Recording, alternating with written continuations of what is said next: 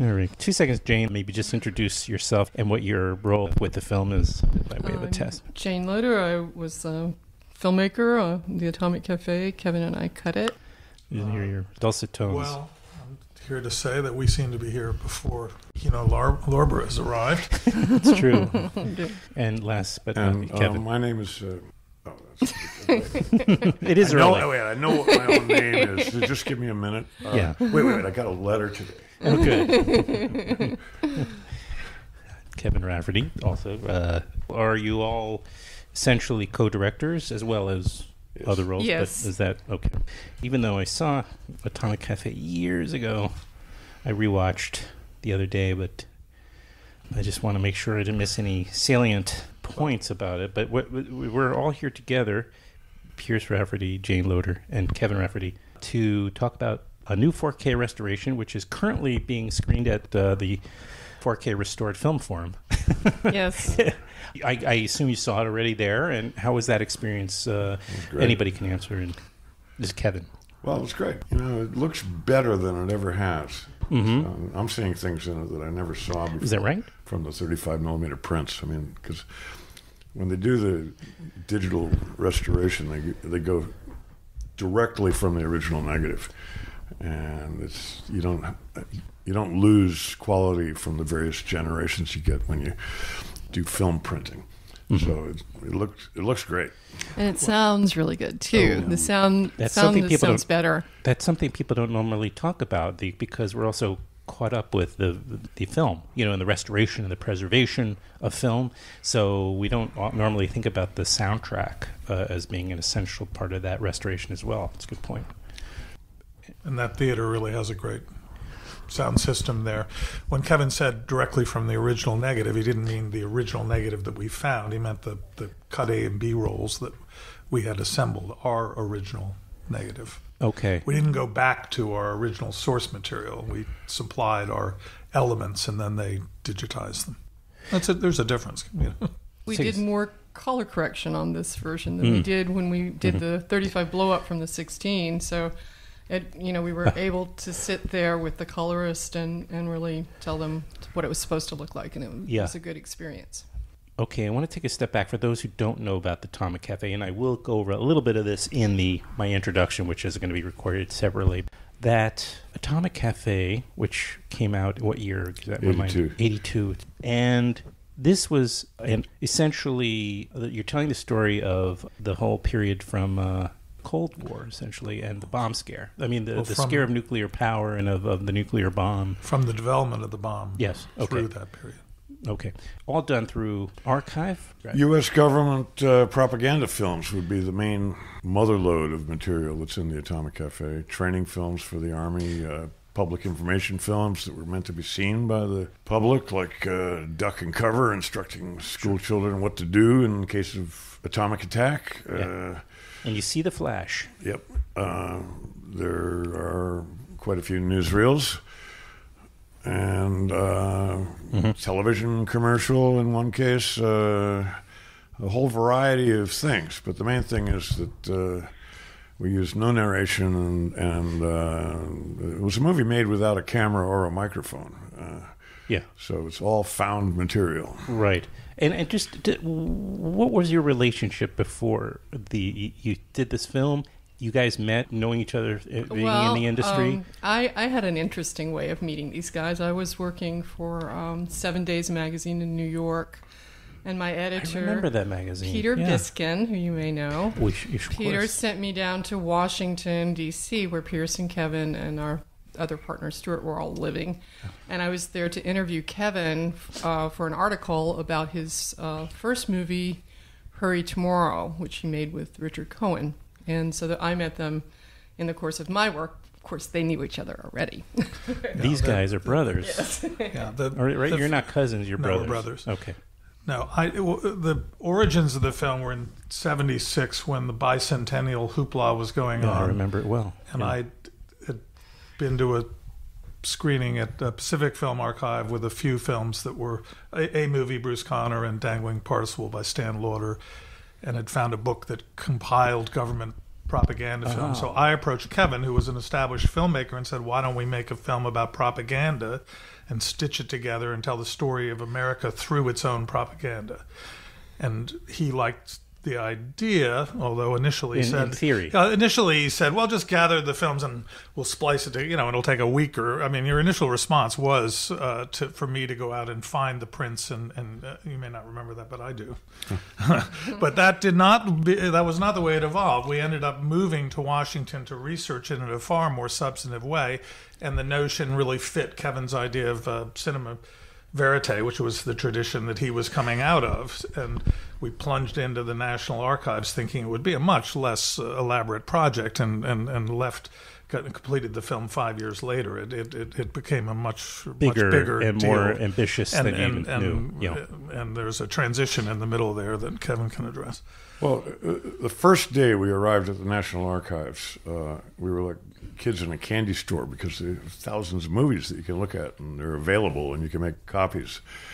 And uh, there was a guy there whose job it was to pull the films off of the shelves and bring bring them to us. His name was Calvin Jefferson, I believe. And This uh, is, this is going to be a detail-oriented conversation. and uh, he said, "Okay, look, here's how it works. You, you look through the file folder, file card index here, and you figure out what you want to look at, and then you give me the list of the films.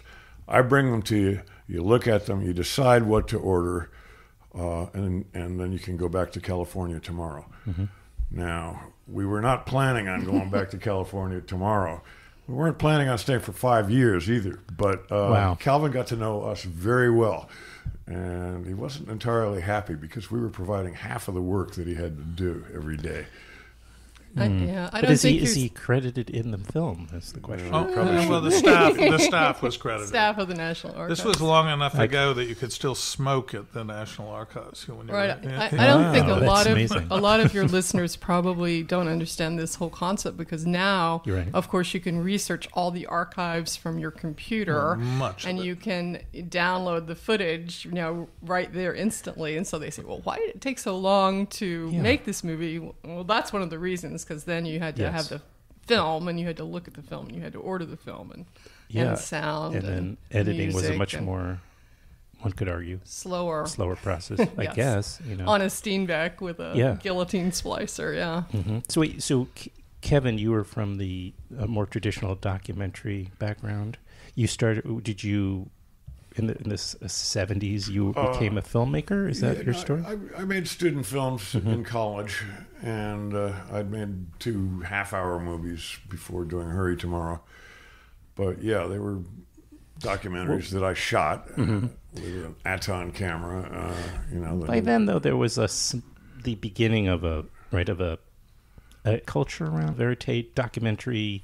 Starting So- in the early '60s, yeah, it was, Yeah. A, it was a revolution. I mean, the, Yeah. this lightweight film equipment changed everything. uh, yeah, 'cause you right. Go out Thanks to and, Pennebaker and, and those guys, right? Yeah. Yeah. Right. Leacock, Pennebaker, Yeah. Wiseman a little bit later on. Mm-hmm. Uh, it was very exciting. Yeah.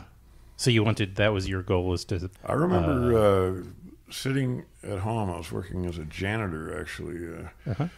temporarily, and I was watching Frederick Wiseman's uh, basic training, and I was smoking pot, and I was looking at these mesmerizingly long shots that his great. Where were you? Were you in a theater? No, I was at home watching it on television on PBS. Oh, right. I guess they did show some of like those. yeah. Mm-hmm. 1971. And, uh, I'd been a bit of an athlete, and I said, "Boy, you know, I could do that. You know, I could hold that camera steady for five minutes." And you know, Uh-huh. and uh, so he he was an inspiration. Uh, Yeah, he's he's uh, he's done this show a few times. yeah. Yeah, it's been a thrill to uh, hang out and just uh, so he knows you enough where you can start to joke around a little bit because he's kind of you know a serious guy, but he's underneath that there's a lot of humor. Well, the Believe it or not. Titicut Follies thing was incredible because he he was a law professor at BU, Uh-huh. and he brought his law class to Bridgewater State Hospital. Hmm. And they just could not believe what they were seeing. You know, elderly naked men being hosed down with high-powered cold water. You're making it hard to for me to joke around. and I'm also wondering, by the way, how he's adapted that into an opera. But that's another podcast. Do you know about that, right? No. Yeah. But, uh, he, he came back uh, a, a month later with a good cameraman, and uh, Mm-hmm. I don't know how long he spent shooting, but you know, he created this instant classic, uh, Titicut Follies, Right. which was banned from screening anywhere in Massachusetts. Uh, Yeah. like probably still is forever. Uh, yeah. Well, that would be something he's proud of, I would assume. Yeah. You know, especially because it's his home turf as well. But not only did a classic spring from that, but also a generation of documentary filmmakers who were like yourself, who you guys who were inspired by that well, type it was of. Leacock, Pennebaker, Yeah. Drew Associates Drew, yeah. uh, that really got it going. He he kind of Sure. came in a bit later. Yeah, uh, that's true. And and as you mentioned, the uh, the, the the lightweight camera, as well as right the synced sound, the sync synced sound, equipment. Yeah. I remember that guy who used to own the Init Quag. He had invented the sync sound, and he had, had the basic patent for that. And he, you know, so he took all the money and went out to Quag and bought a ah. in- incredible Eastern Long. Island. yeah. So I just want to get a little bit of that background too, because you you had this Pierce, you you had the the conceit just sort of dawned on you you- as you described already that that it would be really amazing to tell this story through found archive of all these propaganda f- films and training films and Well, it was an excuse to unleash the inner inner collector in me. I mean, I've always Yeah. been a sort of obsessive uh, collector of or things, you so is that right? I still am. Yeah. Because it, it's such an incredible conceit, and then it's like, why?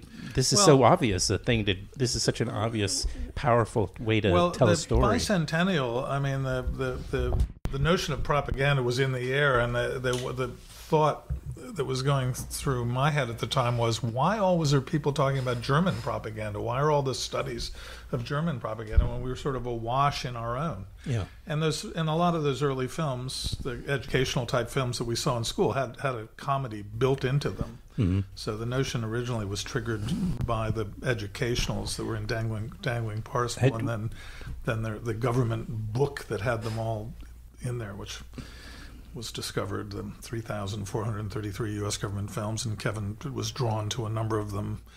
I mean, the one that got me was "You Can't Get Away with It" by the FBI, sort of different than today's. it wouldn't be the topic we'd choose right now, but uh, Yeah. um, anyway, there were. There, there, it seemed as though there was a great wealth, and, and quick research revealed that there was a great wealth waiting to be found at the National Archives. We met on, um, on on Carter's inauguration day, so we would all have a day that we could remember. We Is sat outside the yeah, we all the three of us met outside the National Archives, Mm-hmm. picked Ninth in Pennsylvania, and said just be there then, and then we'll start on the project.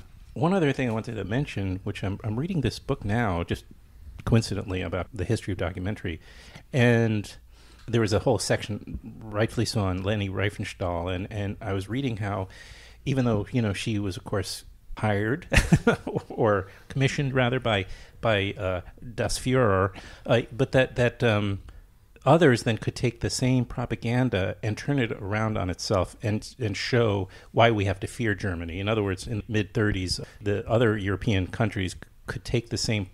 It's it's just a perspective, an issue of perspective. So it's kind of interesting how you guys, in a sort of different way, but you you end up doing the same thing where you're taking the propaganda and turning it on itself to do something very very different to show, you know, why we have to question what we're being fed. I don't know if Uh-huh. you ever saw this German propaganda film. It's called Herr Roosevelt Land. And No. it takes all of this footage from the newsreels, which seems happy, you know, to us people jitterbugging and things like that, and, and uses it to show the decadence of American culture. Oh, okay. Similar idea, then, in other words. So, 1982, you finally, after five years, you have finished making the film, and then what? I mean, it, this was a was this a big hit? Yes, it was a it was a big hit. It it came out uh, Uh-huh. at the film forum and immediately It, it did. yeah at well Film Forum. yes im- immediately started to sell out every show. Every show. And on the basis of that, uh, we got a distribution deal. But how did it? How did that happen? I mean, they didn't have David Nin doing publicity for for for. I don't think he was. He's barely knee high at forty uh, we, we some hit, years ago. We hit the zeitgeist. Uh, Okay. uh, it was, Timing. In terms of timing, it was the height of the anti-nuke movement, uh, That's the true. freeze movement. Right. Uh, Reagan was terrifying everybody, building up our nuclear arsenal and trying to outspend the Soviets, which he did. And uh, people were concerned that World War III might be right around the, the corner, and our film just happened to come out at that time. And we That's did right. have I a forgot great about that. publicist. Not to take anything away from David, but No. we had David Fenton, who was uh, Really? a job, really actually. fantastic publicist, and Uh-huh. he he was working. When we hired him, he was working for the government of Nicaragua, I believe, Right. and then he became our publicist. He'd worked for Muse, Musicians Oh, United for Safe had. Energy. oh, sure, they were big on the no and nukes. so David was Yeah. very, very helpful to us. Okay. Um, and Pierce uh, knew some people at the David Letterman show, and What? Uh, so we were uh, one of. It was David had only been on the air a couple months, Oh, and yeah. we were some of his first guests. Is that right? So yeah, So you can see. a 20, 23rd show. Let's- Yeah, you can see a, a very amusing clip of a Well, Pierce and I on, the- on the Letterman show. Kevin, Um, why- why didn't you get on the? Uh, nobody told me about it. No, that. No, he went on Yeah, the Today. on. He went on the, the Today next, Show. the next No, morning, but the next God. morning, we were on He's the Today Show. complaining about this. David- he was on the Today David Did Hartman. They- they I'd rather between David Hartman and David Letterman. I, we- uh, well, they just decided he wasn't going to be articulate enough. That's Anyway, it was good. You can see that clip if you it was my if you look connection to a comedy writer there. let's go to the videotape, as they say. Thank you. Welcome back to the show. Uh, the Atomic Cafe is an unusual documentary created entirely from propaganda film and newsreels of the 1940s and 50s, which tried to reassure the public and the military that the A bomb, the atomic bomb, was something we could all survive with comparative safety. Two of the producers of the Atomic Cafe are with us, and we'll explain. This is Jayne Loader and uh, Pierce Rafferty. Uh, thank you, folks, for. Uh, i- is this fairly accurate, the introduction? Uh, these, the film is composed of propaganda film, right? Yes. And this was the mission uh, to convince everybody that if one went off in the garage, no problem. That's basically right. Yeah. How did you get interested in this project? Well, we uh, discovered some years ago in San Francisco this book called 300, what was it, 3,433 U.S. government films, and we uh, started looking through it and had films like You Can't Get Away with It by the FBI. and uh, we started to realize there was a whole wealth of this material out there that no one had ever really assembled into one package. And set out to do a film which dealt with propaganda only, and then evolved into, it evolved into something on the A-bomb when we saw all the uh, material that was on that subject. Yeah. Was there anything? Um, uh, was it surprisingly good, surprisingly bad, or any surprises, or what you thought it would be? surprisingly a lot of stuff. There, Mm-hmm. there was much more than we ever imagined when we started researching it. Where did they use these films? On television or in theaters? Or Some were films for children, some were films for the military, some were films for newsreel audiences. They had films on every imaginable subject relating to the bomb, on how to use your car effectively to get out of the city quickly, on how to keep your food exactly ready to go, uh, how to pack up your, uh, Your the trunk of survival your... Yeah. kit. Right. we have some Right. uh, a sample of uh, what is in the motion picture Atomic Cafe, and I guess. Uh, Great. Uh, that was wonderful. That was very fun to watch. Okay, because I was wondering also maybe you had some champions in maybe somebody at like uh, at, in the press who was championing you guys, and uh, maybe everybody was. Well, we And were on they- a number of shows. I went on Mike Douglas. Uh, Lily Tomlin promoted the film because Entertainment Tonight. it's So- got, so- a, it so- got a, millions of dollars in Yeah. press Yeah. because of its timing. Yeah, it was look, clips we- on we- 60 we- Minutes. Yeah, we had a good publicist and uh, Yeah. Good blah blah connections. blah. But Right, right, you know, we made With a good, film. we made a good movie. Yes, No, no, which, getting back to it. which, And- which played in theaters in 17 countries. Yeah, so, but you know, David, uh, Yeah. um, Yeah. uh, Vincent Canby, who was then the film critic of the New York Times, That helped. was very supportive of the film. He wrote a really good review, and then because he realized he hadn't put a good quote in, he wrote a second uh, review, and then I think he mentioned it a third time. in the Porky's Compare, review yeah, or it could- something. in the Porky's review, he said something like, "Well, Compared in favor instead of of going to see Porky's, why don't you go see the Atomic Cafe? That would be better." It's harder 36 years later, as I'm sure David could uh, could attest, to get the to get the feature reviews back in there because the papers reviewed it to begin with. Right. Although the Times I see did mention it today. What do you, what do you think of the film now as you watch it all these years later back at We were discussing Film that Forum. last night that the audiences are taking it a little more seriously, maybe than than in the intervening period from when it came out up till. Yeah. I mean, it's we've hit the uh, we've hit another period when the possibility of atomic war obviously has put the subject back on the map. And we live in a landscape of lying government officials, and this is Yeah. a movie about lies. Uh, yeah, W- but they were. It seemed like they almost uh, just blatant and, and unabashed and uh, yes, the in lies were a uh, little they more were subtle back, a little in, the, bit more back right? in the day, weren't Yeah, they? there were rationalizations, They were done- half truths, Just- and, and and propaganda, through propaganda. euphemistic views of the end of the world. That, whereas now it's really pretty much say what you want and it doesn't have any. It's untethered from the truth, absolutely at this point. So Yeah. So where where does this film where does it fit in the co- in the converse? Is there a conversation? well, I think we're guess going to there- find out. Yeah. I mean, I'm we're hoping Yeah. it, it, it, it stimulates well, the, response. You know, we have a sequence about whether we should nuke Korea back during the Korean War, Right. And uh, North Korea, and uh, and that's certainly something that our president has been thinking about lately. You know, uh, so At least threatening. Yeah. we'll see. Whose button is bigger? You know, Yeah. that's it's a little frightening. I think people are seriously worried right now, and that you Yeah. know they went through a long period of time of not being worried about the atomic bomb. So if we'd come out five years ago, it, we wouldn't be as as relevant as we are today. Right. That's right. Uh, so you were there last night at Film Forum, back at home at the Film Forum. Uh, and we'll be there. I I guess. Uh, are you going to Maine tonight? I'm going. I'm So, leaving, but you.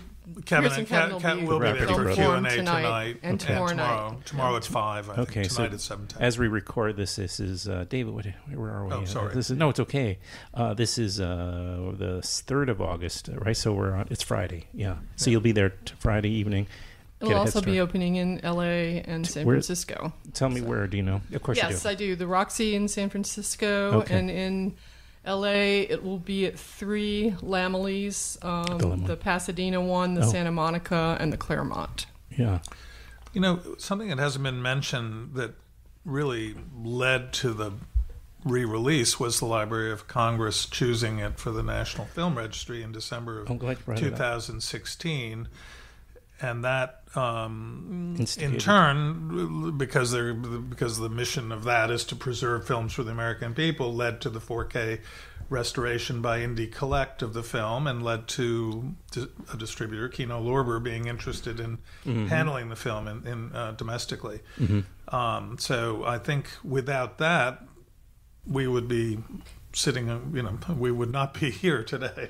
Right. So it, and the Library of Congress paid for the uh, 4K Yeah. restoration. did. for Yeah. which we are very uh, Very grateful. grateful, yes. And it's a it's That's actually fantastic. if you look at the other films that are the 1982 class, it's Porky's. Toot- Tootsie, uh, Raiders of the Lost Ark. That's. E.T. Uh-huh. uh Chan is missing, and us. I think that's it. There's only five films. Wow, yeah, that's Well, they, pretty they amazing. choose 25 a, a year. Uh, Yeah. What I liked was They- that Atomic Cafe was listed alphabetically, so we were Mm. first. right at the You had to skip over Bo Bremmel, but then you hit the birds. I mean, you know, we had, we were a good. distinguished company. Oh, I see. good, in yeah. the bi- in the, in the uh, 20, overall list of 25. Oh, no, oh. in the list Every of year they choose 25. They choose them Oh, from the past. they do. I and, see. And, and so far, I guess they've chosen more than 700 out of the approximately a million films that have been made. So, um, Yeah. I mean, initially when I heard about it, when I asked about what this meant for me, I said, well, "Great one-liner for my obituary," but I didn't realize they were going to preserve the film, and Yeah. and so that was a, a far more significant uh, contribution. The fact that the Library of Congress was willing to, or does that for films, it's great. Thank goodness. Right. We still have Well, for- Exactly. yes, that they're still able to to fund films. that. That is a remar- It's It's an interesting list. I mean, you, you got you know Casablanca and The Wizard of Oz, but you've also got This Is Menstruation, 1946. I mean, it, well, the- uh, uh, to its credit, that's a classic. okay, Yeah, some of the Jam Handy classics are on there. Right. Uh, Rick Prelinger was on the committee for a long yeah, time. he got, he got So- some really interesting documentary uh, did. educationals in there. Yeah. Yeah. So you'll have some of the early Edison films are on there, Mm-hmm. obviously. So- Right. I, I assume there's there's all sorts of reasons why f- f- films are selected, not just popular appeal or box office or what have you. Quality. Quality. There's a committee, and, and, I, th- and I even think other. people, people yeah. send in. Rec- I mean, there is some sort There of must be. uh, lobbying by the public. There is the the public is allowed to submit their choices, and the Atomic Cafe was nominated. I, I'm just curious though. A lot of people saw Atomic Cafe, and w- you know why didn't you follow up? Like, uh, start, You mean as the three of us? Yeah. Well, I think we were ready to go our separate ways at that point. Mm-hmm. and um, I started. I, I wrote a novel and Okay. a collection of short stories, which were both published by Grove Press. Oh. You know, Pierce um, well, I, founded I, a stock footage Yeah, archive. I I actually did have another deal, much, much maybe to everyone else's uh, here at the table's uh, irritation. But I had a deal briefly with Norman Lear Mm-hmm. to do the same sort of film about about sex ed films, and and sort of failed at doing that. But it was taken over and released as a totally different film with a narration. Uh, called Heavy Petting, uh, but I, uh, you know, they credit me with writing it or something. But it, originally we had the deal, and and then switched over. I switched over to running a film archive and starting a film archive in in New York, um, which was sort of in the meat market, which was parallel to Rick Prelinger's operation in the meat market for You ten should- years. Yeah, you should understand. Like for for five years, a lot of that five years, we all lived together in the same uh, house, so we were really ready to go our separate ways I by see. the by the end of the five year period. I see. Where was this? It was in Arlington, Virginia. Oh, really? Mm-hmm. Okay. Right on Highway 50. If you went one way, you could end up in Nevada. You went the other way, you went downtown Washington. And in the fall, the leaves on the slick road would cause car crashes Oh, right my God. outside. Really? And uh, there was talk at one point of setting up a sound-activated camera to capture some of these crashes. That could have been your follow-up film. Well, it could have. you know. Uh, well, just to remind everybody, the Atomic Cafe is going to be screening for a couple of weeks. At least it has a two-week run Yep. at the newly, by the way, restored Film Forum. Uh, no, but the re- Film Forum has also just opened its doors. Your, in fact, your film is the inaugural, one of the inaugural films that are at the new Film Forum. Uh, so we'll we'll keep people abreast of uh, also where else they're going to see it in the West Coast. And then, is there a plan? Just real briefly, do you know? Is there a plan to re-release this uh, on other platforms? As Uh, they I think first they'll do the theatrical Yes, and of the course, yes. repertory. Right, right, and of as course. Pierce was just telling me, how many dates do they have already booked? David would know 18, or it seemed to be booked. Yeah. Um, so 18 venues. I know so, we're going to so be it's in beyond. Chicago. So it's going to go wide. Uh, I Um, mean, yeah. uh, and it, over the course of the uh, late summer into the fall, I guess. Right? Makes sense. yes. Uh-huh. And then uh, maybe maybe they'll re-release. It makes sense to re-release it right now. You know, as, although you know, why I, would I'm, I'm assuming it's going to be on Netflix, and the reason I know that is because the old Careful which- DVD was yeah. on Netflix, and they just, um, knowing that we were doing the 4K, they just removed it. So Oh, that makes sense. well, it also makes good. sense in light of that. It's if it's going to come out theatrically, they don't. It makes sense for both sides, Netflix and you know Kino and everybody, to not have it Mm-hmm. available so easily right. on on on uh, your phone, you know, Right. or wherever people watch things like that. Listen, guys, it was great meeting you all, and I wish you the best and uh, uh, with the, with uh, the Atomic Cafe and everything else. Uh, it was really Thank you. great meeting Thank you you so much. Yeah. That's amazing. Um, let me. Now, this seems so silly. Did the government actually believe what they were telling us, or did they not know, and so they chose to make everything seem to be relatively harmless? Well, I, I don't think they believed it. I, I think they consciously, especially with the soldiers, consciously tried to reassure them so that they would do as they were ordered, mm-hmm. which is to, you know, participate in these atomic bomb explosions which endanger their health But- when they're now getting cancer from Yeah, but the, the point is, did they know there were negative things going on, or were they just assuming that there would be questions and people would be worried, so they produced That's these hard things? to prove. Yeah. It's very hard to, to prove. I think they knew, and a lot of uh, evidence is coming out now that would support that contention, but it's impossible at this point to say. The scientists, for example, wore suits at a lot of these tests where the soldiers marched into the blast area. Uh, all the GIs just had regular clothing.